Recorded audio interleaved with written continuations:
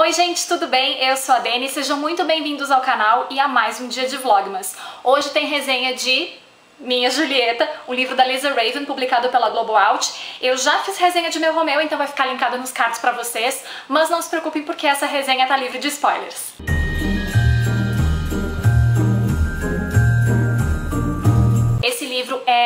Ele começa exatamente do ponto final de Meu Romeu. Então o leitor vai conseguindo pegar um pouquinho de cada parte desse quebra-cabeça para montar a história do Ethan e da Cassie. Parece que em Minha Julieta, os sentimentos estão ainda mais expostos do que a gente viu em Meu Romeu. Parece que é tudo muito visceral, estão todos muito à flor da pele. A Cass está com muito medo de se magoar e a gente consegue nesse livro ver realmente o que aconteceu. E o Ethan tá tentando consertar as coisas da melhor forma que ele pode, da melhor forma que ele consegue. Os sentimentos em Minha Julieta são tão profundos que tem alguns capítulos que parece que o leitor sufoca. Eu me senti sufocada, mas não num sentido ruim. Eu me senti representada nesse relacionamento do Ethan da Cassie em algumas situações.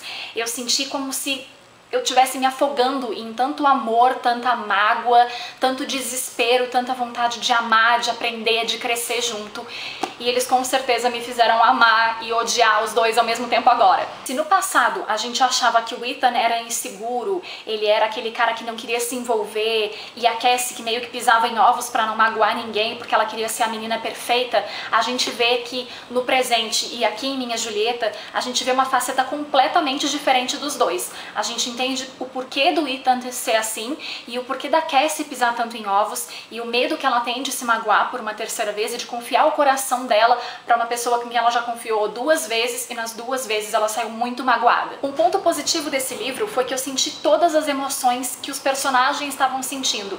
Eu acho que a autora conseguiu fazer com que o leitor sentisse tudo isso. Bom, eu pelo menos. Eu vi que quando o Ethan e a Cassie se amavam era de fazer a terra tremer, mas quando eles se odiavam era uma coisa visceral, era uma coisa que exalava pelos poros praticamente. Era um ódio que parecia que os olhos emitiam um raio laser. E tanto no passado quanto no presente, quando tinha trocas de olhares, parecia que a pele ia queimar, porque eles se olhavam com uma intensidade tamanha que ai, sufocava. E tanto no passado quanto no presente, quando o Ethan olhava para Cassie ou quando era Cassie quem olhava para o Ethan, que tinha essa troca intensa de olhares, era tão intenso que parecia que queimava a pele. Todas as cenas de beijos e abraços entre os protagonistas é de tirar o nosso fôlego, com certeza. Mas como nenhum relacionamento é perfeito, e a gente sabe que no caso do Ethan e da Cassie, o relacionamento deles não era flores, mil maravilhas, quando eles discutiam, que tinham as cenas de discussões, eu me peguei chorando várias vezes e parecia que todos os sentimentos deles, as lágrimas, iam afundar uma casa, porque era tudo muito intenso, é tudo muito real. E por mais que de repente a gente não tenha vivido um relacionamento como o Ethan e a Cassie viveram, a gente meio que consegue tirar uma ou outra coisinha do relacionamento dos dois e tentar relacionar com a nossa própria vida amorosa. E eu fiz isso várias vezes, então por isso que para mim os sentimentos dos dois foram muito reais.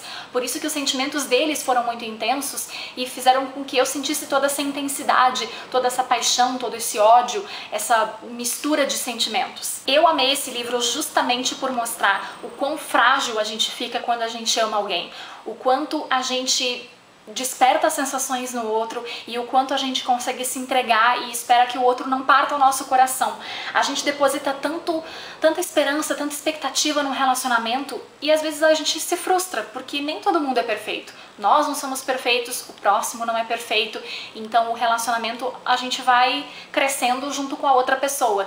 E foi uma das coisas que eu mais gostei em Minha Julieta foi sensacional, eu amei demais o Ethan e a Cassie e com certeza eles têm um espaço reservado no meu coração e um espaço bem grande. Bom, eu espero muito que vocês tenham gostado dessa resenha. Eu tentei focar mais no que eu senti, no que os personagens sentiram de uma certa forma, que é pra não dar spoiler pra vocês. Fiquem ligados porque na próxima sexta-feira tem resenha de Coração Perverso, que é o terceiro e o último volume da série Star-Crossed, da Lisa Raven, que vai contar a história da Elissa Holt, que é a irmã mais nova do Ethan, e do Liam Quinn. Então fiquem ligados porque vai sair resenha e eu amei aquele livro, que eu já posso adiantar pra vocês.